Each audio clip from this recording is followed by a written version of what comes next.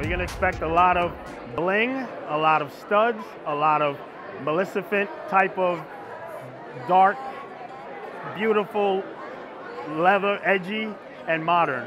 My style signature has evolved over time, so now it's really, really spikes and stud, uh, high-end sheepskin and calfskin leather, um, but it keeps evolving. Every collection I do evolves. It evolved from nice classical modern to now Mad Max type of inspired uh, uh, collections.